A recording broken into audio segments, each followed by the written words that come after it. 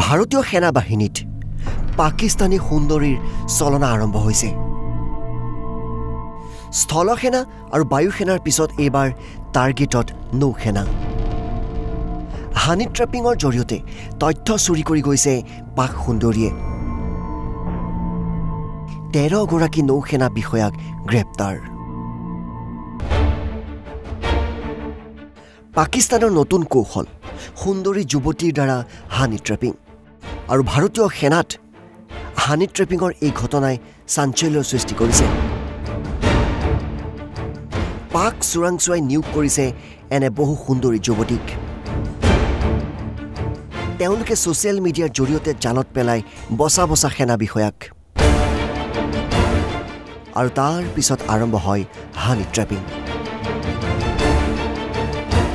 হানি ট্ৰেপিঙত জালত পৰা বিষয়াই নিৰাপত্তা বিষয়াক গুৰুত্বপূৰ্ণ তথ্য যোগান ধৰে সুন্দৰীক। নিজৰ ছ'চিয়েল মিডিয়া এপছৰ জৰিয়তে পাকিস্তানৰ যুৱতীক এই তথ্য যোগান ধৰি আহিছে ভাৰতৰ বহুকেইজন সেনা বিষয়াই। অন্ধ্ৰপ্ৰদেশ আৰক্ষীয়ে এই কথা ধৰা পেলোৱাৰ পাছতেই এতিয়া চাঞ্চল্যৰ সৃষ্টি হৈছে। তেৰগৰাকী নৌ সেনা বিষয়াক গ্ৰেপ্তাৰ কৰিছে আৰক্ষীয়ে। তেওঁলোক মুম্বাই কৰ্ণাটকা আৰু বিশাখাপট্টমৰ নৌঘাটিত কৰ্মৰত আছিল।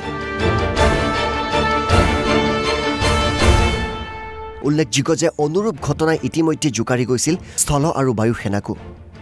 আৰু এইবাৰ লক্ষ্য নৌসেনা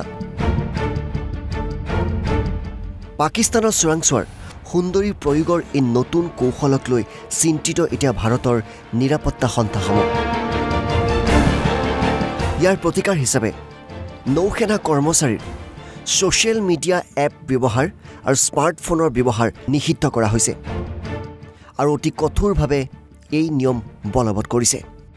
এতিয়াৰ পৰা কোনেও স্মাৰ্টফোন আৰু ছ'চিয়েল মিডিয়া এপ ব্যৱহাৰ কৰিব নোৱাৰিব নৌসেনাত।